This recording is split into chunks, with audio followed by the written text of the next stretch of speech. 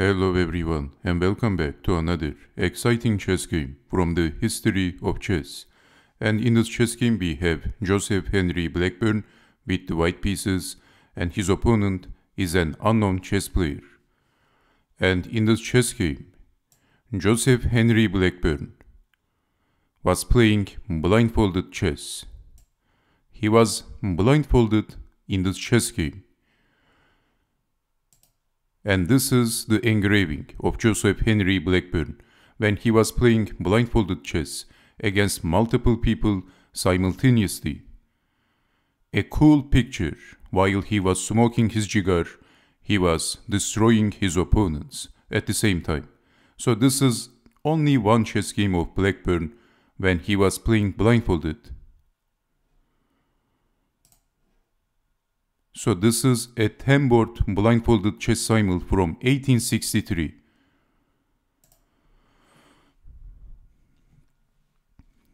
And Joseph Henry Blackburne, who has the white pieces, starts the game with pushing the e-pawn, e5, d4. Challenging the center, e takes on d4, and now c3. This is the Danish gambit, very similar with the Smith-Morra gambit, but you play you can play the Smith-Morra gambit against the Sicilian defense. You play the Danish gambit like this. So e4, e5, d4. e takes on d4. And offering the pawn, c3. d takes on c3. The Danish gambit accepted. Bishop to c4 and Blackburne was extremely confident when he was playing blindfolded. Also sacrificing the b pawn, d6. Knight takes on c3, knight to c6, knight to f3, knight to e5, capturing the knight. Capturing back. And it is white to move.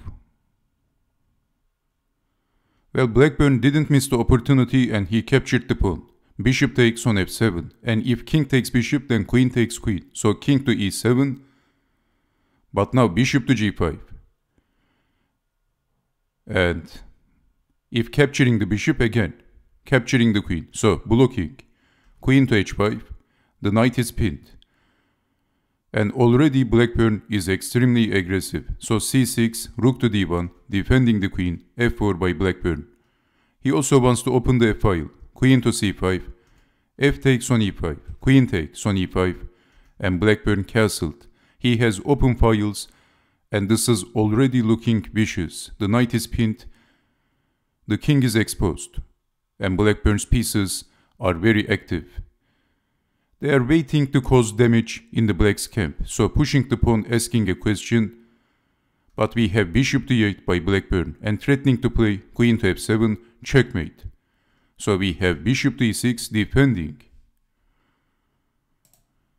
So of course in this position if capturing the bishop then queen to f7 and this is checkmate. There is no defense and black is getting checkmated. So we have h6, bishop to 8 threatening mate, defending with the bishop, and what would you do in this position?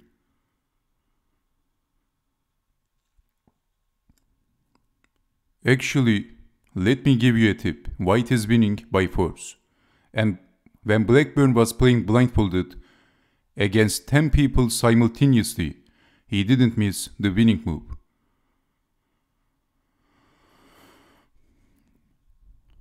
Can you guess the next move of Joseph Henry Blackburne? Well, he sacrificed the rook.